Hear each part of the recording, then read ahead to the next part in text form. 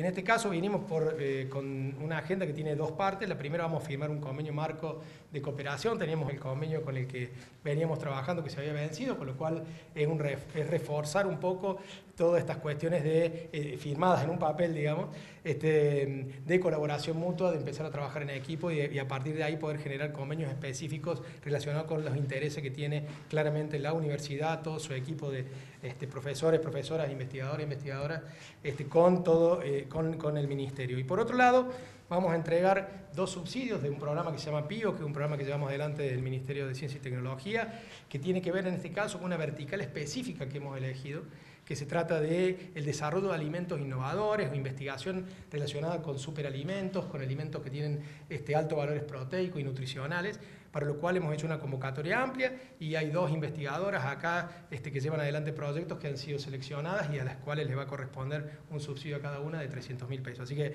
un gusto muy grande, primero visitar la ciudad, después reforzar estos lazos de la universidad con el, con, el, con el, ministerio, con el gobierno de la provincia de Córdoba, y por otro lado valorar el esfuerzo de, de dos investigadoras, dos trabajos de, de, investigación conducidos por dos mujeres en este caso, que están en una línea muy específica y sobre la cual el gobernador siempre acentúa que Río Cuarto tiene que ser protagonista, que es en el sector de los, de los alimentos, de los agroalimentos. Así que la verdad un gusto muy grande, sobre todo poder acompañar esa, esas líneas de investigación específicas. Rector, a pesar de los obstáculos que presenta la pandemia, la Universidad Nacional de Río Cuarto sigue trabajando este, en vinculación directa, en este caso con el Ministerio de Ciencia y Tecnología de la provincia de Córdoba. En ese sentido, no solo la Universidad de Cuarto, sino todas las universidades de la provincia, obviamente eh, rápidamente salieron a dar respuesta a través de sus proyectos para este tipo de convocatoria que nos pareció muy bueno. Por eso digo, eh, el año pasado hemos trabajado fuertemente en este, en este sentido.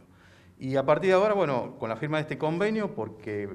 obviamente había ya un vencimiento del convenio que estaba firmado con anterioridad, y a partir de allí, en el hecho de trabajar las nuevas propuestas, las nuevas líneas prioritarias que está trabajando la provincia, hay muchas vinculadas con el tema de producción, de, producción agropecuaria, y en ese sentido, bueno, eh, en, el marco de estos eh, convenios, eh, perdón, de estos protocolos específicos, necesitamos tener el convenio marco, que a diferencia del anterior, la modalidad ahora es un convenio que marco firmado con cada una de las instituciones universitarias de la provincia, esto también permite otra lógica de funcionamiento que también facilita un poco la dinámica dentro del ministerio y por supuesto para la universidad.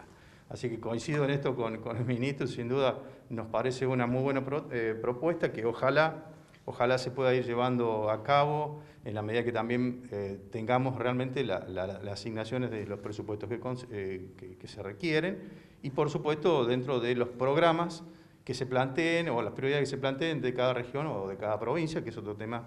que un poco también venimos discutiendo con, con la provincia,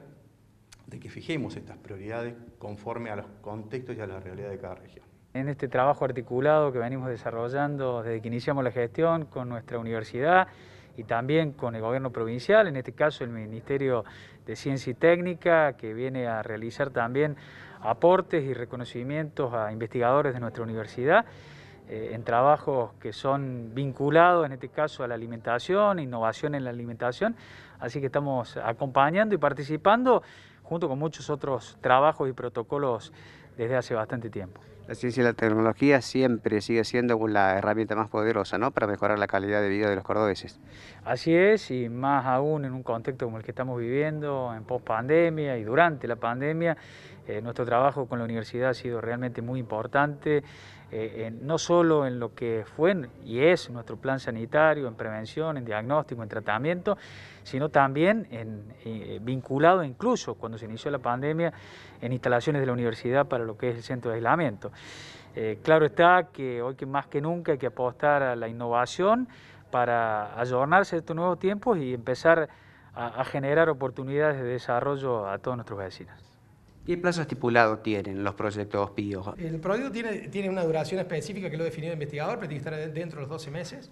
este, a partir del cual tienen que hacer las rendiciones, pero nosotros entregamos el 100% del subsidio ahora para que puedan, en el caso que tuvieran que comprar este, maquinarias, bienes de capital o algunas cuestiones, puedan tener disponible todo el dinero y después rendirlo, obviamente. El camino ahora es justamente ir trabajando algunas de estas áreas prioritarias. El caso de ejemplo tenemos hoy eh, los dos proyectos que están eh, con la asignación de, este financiamiento por parte del Ministerio de la provincia, vinculados a las áreas de producción, en este caso particular de producción animal,